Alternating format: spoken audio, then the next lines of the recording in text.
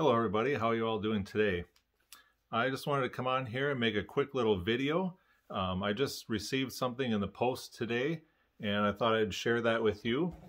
Um, about a week ago, I received an email from Capitol Records and they were asking me uh, if they if I would mind them sending me something and of course I said sure I mean anything free is going to be great and so um, like I say, about a week passed, and now I came home from work today, and this package was at my door.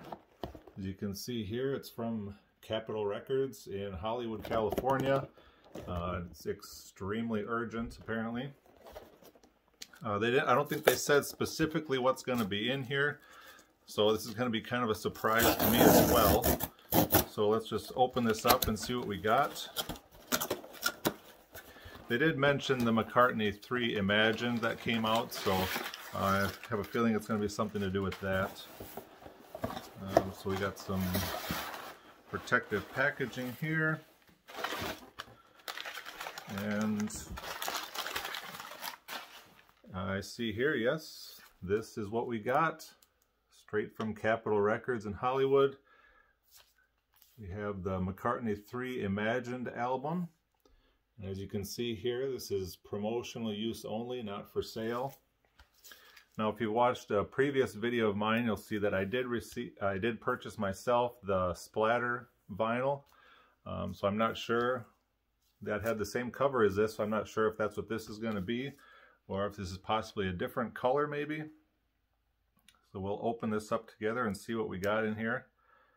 Now I showed on that video the the gate folds so if you want to see what that looks like, you can take a look back at that video. But right now I'm just going to open the side here just to see what we got.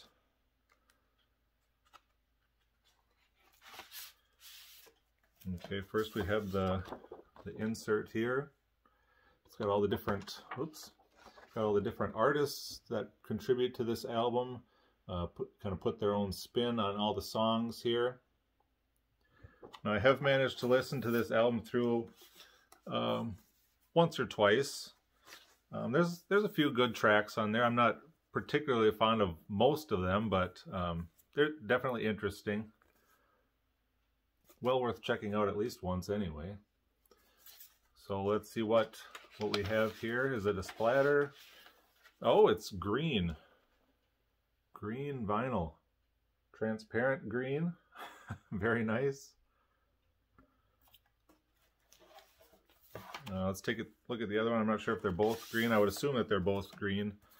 But here's the second one. And sure enough, yep, this one is green as well. So we got two green vinyl records here. Very nice. I want to want to say thank you to Capitol Records for sending this out to me. It's very much appreciated. Um, if you haven't seen before, we'll just take a quick look at the track listing here. Um, recently, they just came out with the music video for the Beck version of Find My Way. And uh, later last year, I think it was The Kiss of Venus, that video came out. Uh, those are probably a couple of my favorite ones on the album here. And on the other album here,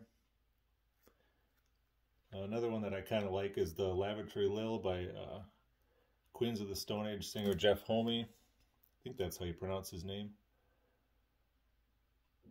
And this also has the exclusive to the physical media um, versions. It's got the long-tailed winter bird, the Idris Elba remix.